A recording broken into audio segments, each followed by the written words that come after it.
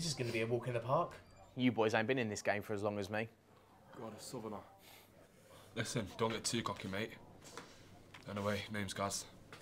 Harry. So, uh, what about you, fella? Oh, sorry, mate. Um, it's it's Tommy. I'm from Birmingham. Thought so. I fold. Oh, it's- oh, it's me. Um, do you know what I could really do with though right now? A nice sarnie. You know, like some bacon, bit of sausage, some famous HP sauce. Not too much though. Don't like it too saucy. Gets a bit of a mess, doesn't it? What about you, Harry? What do you call a sarnie down south? I've never really been down south. Never really had any reason to go down there. I don't really know anyone down there, to be honest. And, uh, you know what? I, I won't mind going.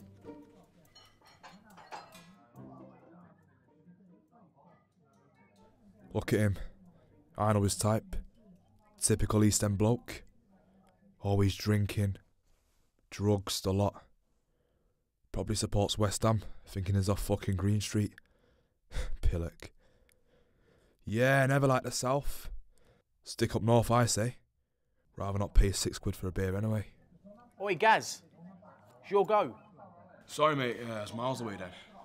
You know what? I could really do with some scran. You what? Some scran? Nah, sorry, mate. I don't do drugs. Nah, you got me all wrong, mate. You see, where I'm from, Scran means food. Oh. Yeah, that's grim. I fold. I bet you could do the sarnie right now, I guess. You what? A sarnie, a batch, a roll, a bloody bap. God, these guys are daft. Especially that Tommy. He's a bit childlike to me. Probably still lives at home with his parents playing bloody board games. Has he got a job? I bet he's on the dole. Oh well, never mind. We know what these brummies are like. Couldn't organise a piss up in a brewery. No, I don't know what, I'm actually more of a kebab guy, me, Tommy. Nothing better than a kebab after a night on a piss. I'm all in. Brave man. Oh, bloody hell. Unlucky. Oh, I can't believe I lost. I hope Gaz beats him. He only looks young, mind you. I bet he works at a supermarket on the checkouts or stacking shelves or something. I have bigger ambitions than him, I guess. Oh well. I'm sure he's a nice guy. I don't tend to judge.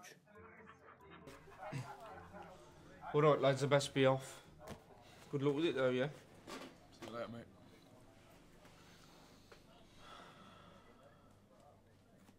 All in. Cool. Decent hand. Doesn't beat a couple of aces though, does it?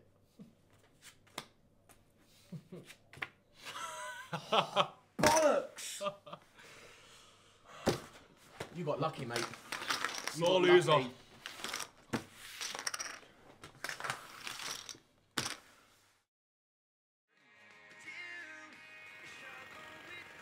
Oh, you listen to me, kid. This is my fucking gig. If you don't like it, you know where the fucking door is. You knew what you were getting yourself into when you took this offer. So stop wasting time and get the fucking job done.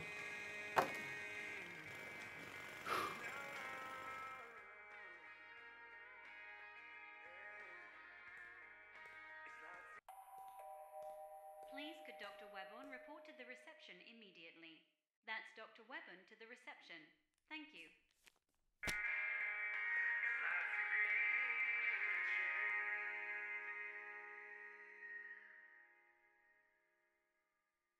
Hello, ladies and gentlemen, we are back on air.